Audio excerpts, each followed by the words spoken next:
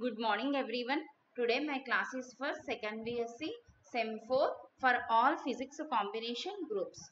Today I am going to discuss about the last topic that is diffusion of gases in unit 1 that is kinetic theory of gases.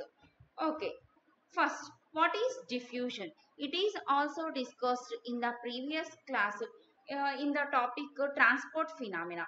What is diffusion? The amount of the number of molecules or the mass transferred from high density region to low density region is called as diffusion or transport phenomena. High density region నుంచి gas మాలిక్యూల్స్లో density రీజియన్కి transfer అయితే అంటే మాస్ని carry చేస్తే దాన్నే ఏమంటారు అంటే diffusion అంటారు అంటే ఇప్పుడు మనం టూ గ్యాసెస్ కన్సిడర్ చేసాము. H two and N two we know that H two is lighter gas N two is heavier gas these two gases are take in a vessel ఒక వెజల్లో మనం ఆ టూ గ్యాసెస్ తీసుకుందాము తీసుకున్నాము అనుకుందాం. Let the two gases are brought in a vessel okay the lighter gas H2 is in the upper part. We know that. Uh, lighter gas ఎప్పుడు కూడా upper పార్ట్లో ఉంటుంది. Heavier gas is always in the lower part but gas molecules ఏమవుతాయి? ర్యాండమ్గా move అవుతూ ఉంటాయి. ఒక చోటే ఫిక్స్డ్గా ఉండవు.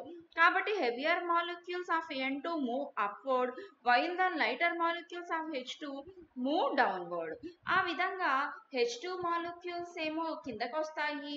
ఎన్ టూ మాలిక్యూల్స్ ఏమో పైకి మూవ్ అవుతూ ఉంటాయి. అంటే గ్యాస్ త్రోలీ మిక్స్డ్ ఆ గ్యాస్ అంతా కూడా మిక్స్ అవుతుంది. అంటే ఏంటి? మొత్తం అంతా కూడా డెన్సిటీ అనేది సేమ్గా ఉంటుంది. The this phenomena is called as diffusion density అంటే ఏంటి? Number of molecules per unit వాల్యూమ్నే మనం డెన్సిటీ అంటాం. మాస్ పర్ యూనిట్ వాల్యూమ్నే డెన్సిటీ అంటాము.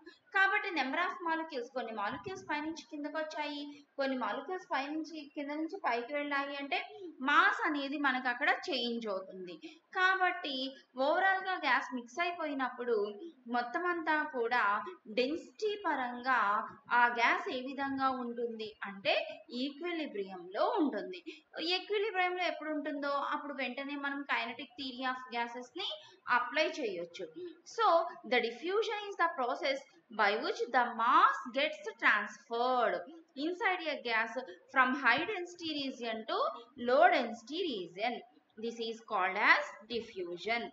Diffusion coefficient అనేది మనం ఫైండ్ అవుట్ చేద్దాము by on the basis of phenomena of kinetic theory of gases.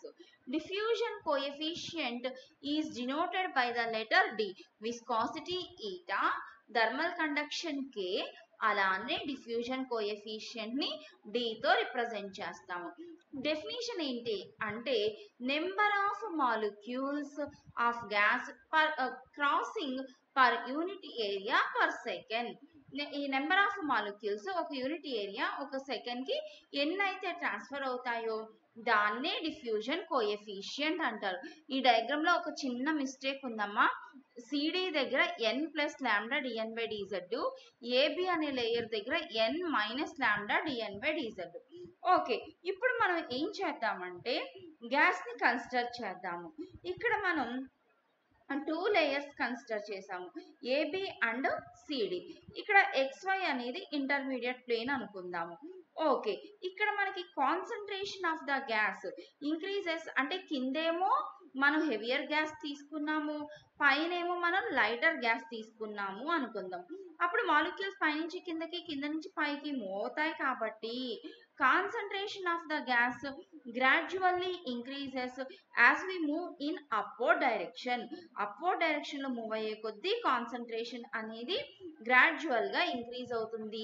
డిఎన్ by dz అనే రేషియోలో మనకి ఇంక్రీజ్ అవుతుంది అనుకుందాము.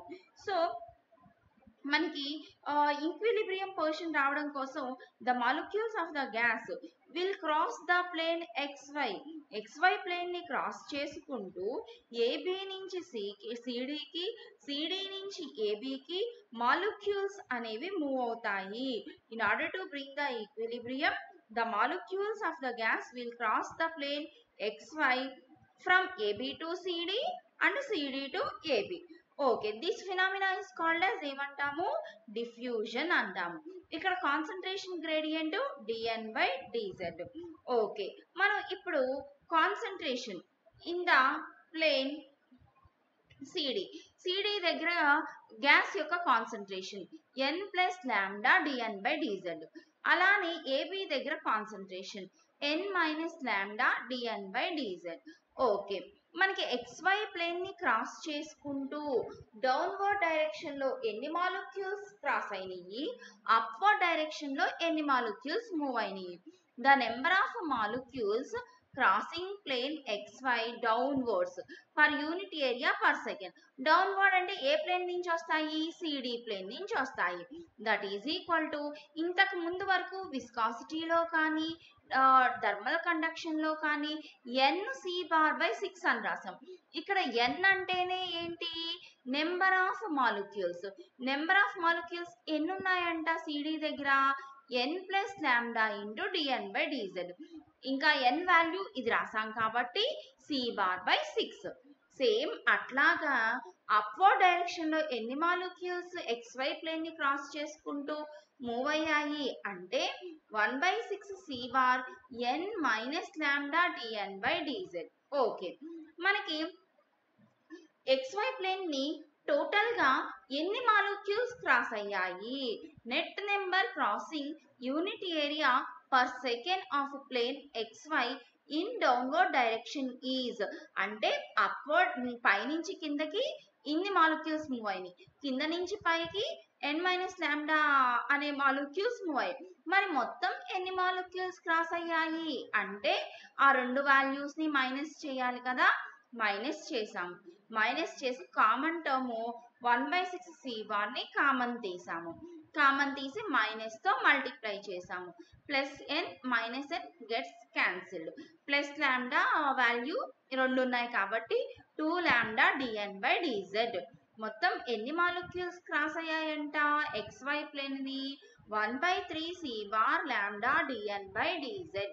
Okay. What is the definition of uh, uh, diffusion coefficient?